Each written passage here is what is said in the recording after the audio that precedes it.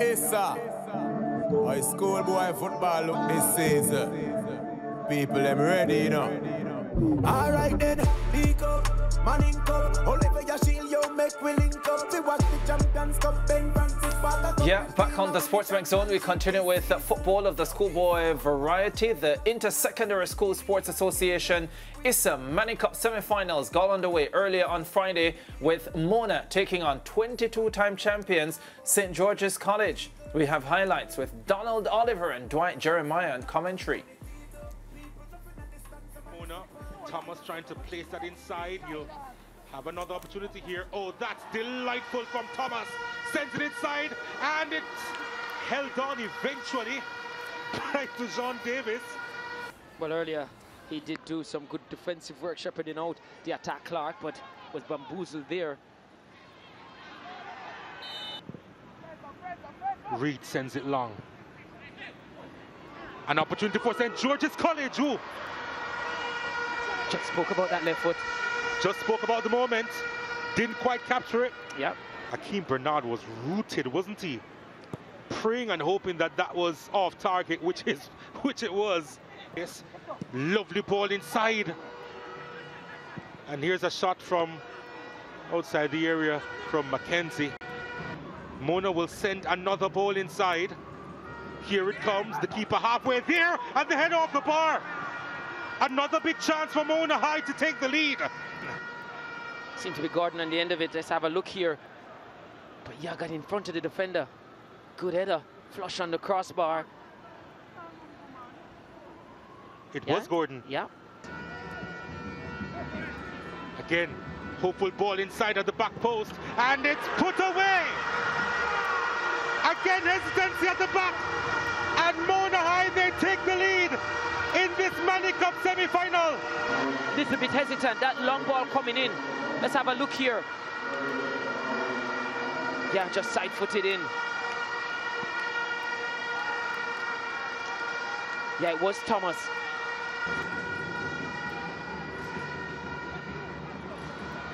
Here they come again. On his left foot, feeds it to Taylor. Taylor curling that one! That's magnificent! Zabir Taylor, one of the standouts of this team, finally gets his first goal this season. As Burkett laid it off to him, didn't go for power here, just measured that attempt, but it went into the direction of the goalkeeper. That's how precise it was, exquisitely done. Just look at it here. Yeah, it couldn't have been placed any higher, any lower, and it would have hit the crossbar or the palm of the goalkeeper. Handled well by St. George's College. Peralta gets it again, swings that one across the box. There's an appeal for a free kick inside the D. And they get it. Who will take it? It is Mackenzie!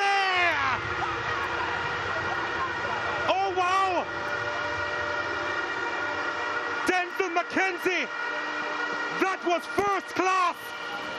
And Mona with the 2-1 advantage over St. George's College. Yeah, pace and precision was on that strike, always going away from Davis, hitting the side netting as well. The back sanction there of the goal. Yeah, he just took a step to his left. Parchment is also there, goes straight into the wall. Gordon went straight to Davis. They need to hoof this upfield if they want to stand a chance here. But Mona defending stubbornly.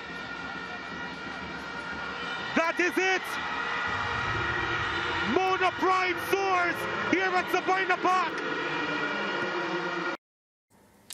Yeah, Mona High qualifying for the Manning Cup final for the first time in their history. A tremendous performance by Craig Butler's team, and they did it on the back of a wonderful free kick from their number 10, Denzel McKenzie, to win the contest. Xavier Taylor had scored a beautiful goal for St. George's College to level as well after Ramarian Thomas had given Mona the lead. You know, Mariah, before Tuesday, both Mona and St. George's College were unbeaten in schoolboy football this season. In the Champions Cup, St. George's College lost to Clarendon College and Mona lost to Glenmuir. So they came into today's match knowing that defeat would mean it's the end of their season. So imagine going unbeaten and in the course of one week, you lose back-to-back matches and that's the end of your campaign because that is what has happened to St. George's College. Yeah, I really feel it for St. George's because they started this season, you know, brilliantly. We spoke about all the positives coming out from this team, but this Mona team, and when Craig is at the helm of any team, I feel like you would be um, not very smart to bet against them because we've seen that spirit within the team. Uh, we saw they opened, they had the opening goal, they led for some time. Then, of course, St. George's equalized, but Mona did not give them the opportunity to walk away with the points. Instead, you know, they found that um, they had the fight in them. And for me, Ricardo, I'd love to be there at halftime to hear what Craig says to them, to, you know, to just listen to that dressing room and see yeah. them come back out roaring. And I think this Mona, this Mona team is going in the right direction. And with Craig at the helm and with the youngsters, you know, that he's building with, it's a team that very soon we may not be betting against. Yeah, very much the case. They got to the Manning Cup semi-finals last season, and here they are, one step further this time around. A couple of things. One, I was concerned for Craig Butler when the final whistle sounded because mm -hmm. he sprinted onto the field, and for a second, I wasn't sure how far he could make it. And I don't know if we can see that again at the end of the match when Craig Butler sprinted onto the field. Here it is, yeah, I think he just ran out of steam there. well, the, he lifted him up, so wow.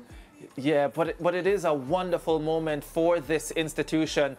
Um, let me also say that Mona's football program um, the rebuilding, if you want to put it that way, or the building of this program started before Craig Butler. Yes. Craig Butler coming in was a continuation of what has been what had been started.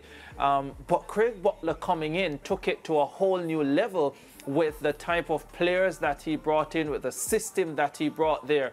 And what is for sure is that he has fast-tracked um, the success um, of this Mona program um, because based on the trajectory that they were on, maybe they would get there someday, maybe five, six, seven years down the road.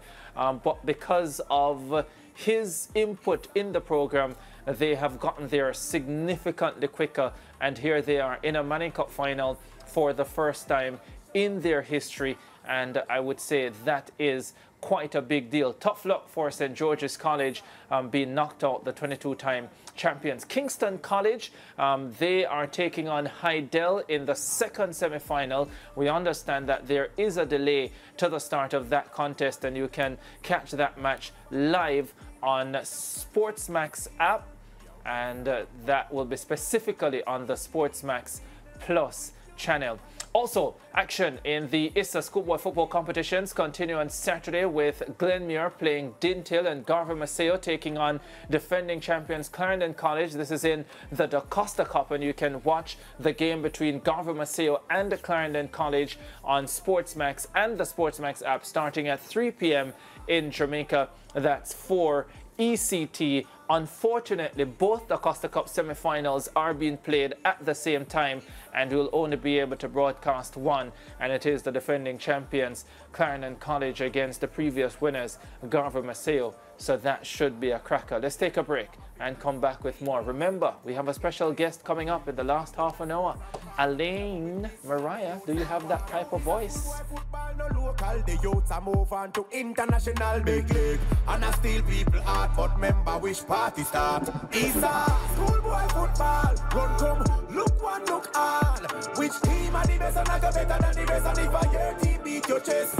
it's ISSA, schoolboy football. A team could rise and a team could fall. But you never will know until the whistle blows around